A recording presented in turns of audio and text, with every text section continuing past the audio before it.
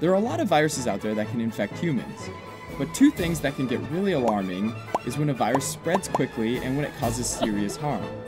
Zika virus has the potential to do both of these things, which is why it's gotten a lot of attention. Given this, it makes sense to understand a bit about Zika virus and the disease it causes. Zika virus is an arbovirus, meaning it's transmitted via certain arthropods, specifically mosquitoes, so it's a mosquito borne virus. Mosquito borne doesn't mean that the virus is born in the mosquito, though, but it's born with an E, which means carried or transported. Sometimes we call organisms like this vectors, where all they do is transport the virus.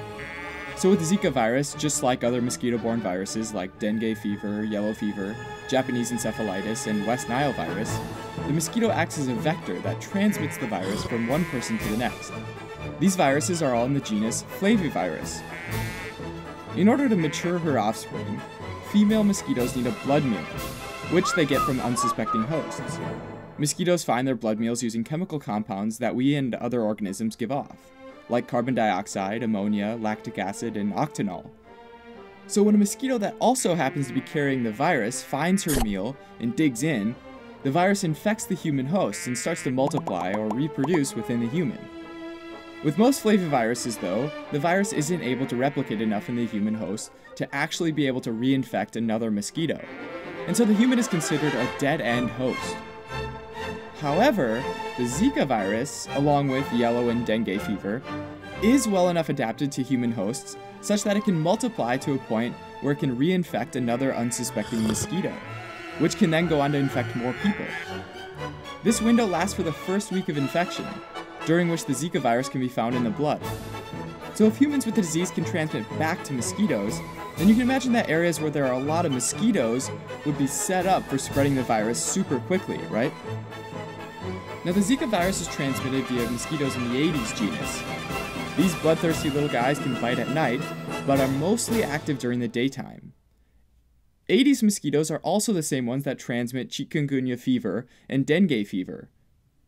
When Aedes aegypti, or Aedes albopictus, both species of the Aedes mosquito, lands on your skin and sticks in its long nose, or proboscis, it pierces the epidermis, which is the topmost layer, composed almost entirely of keratinocytes.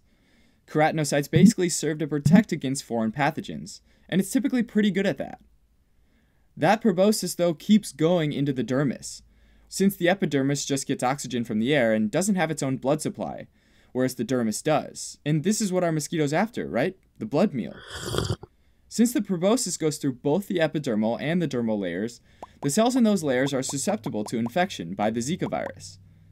So, in addition to keratinocytes, fibroblasts and dendritic cells have also been found to be permissive to Zika virus, meaning they have some sort of receptor or attachment site that basically says, Here you go, man, come on in.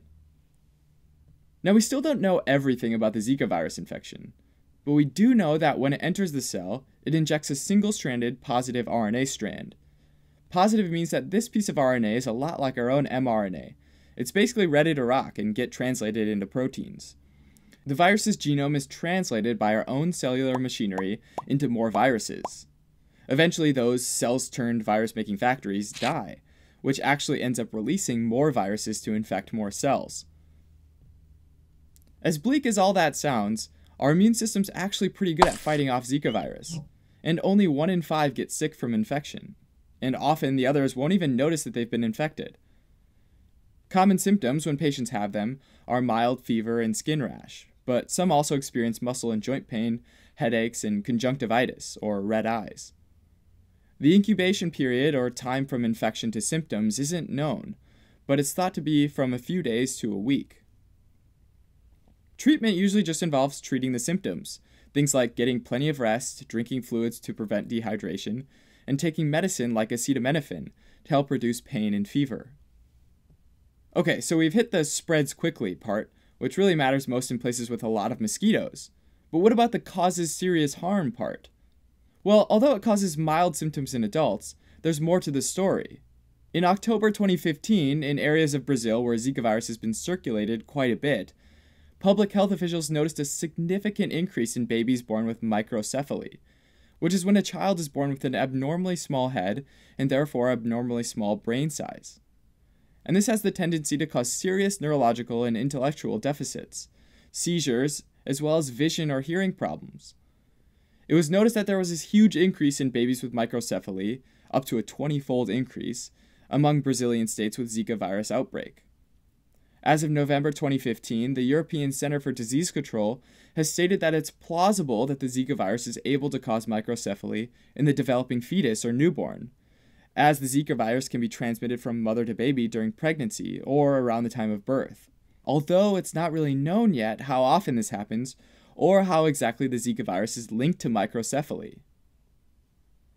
In addition to being spread mostly by mosquito bites, and in some cases from mother to child, Zika virus has also been reported to spread through both blood transfusions and sexual contact.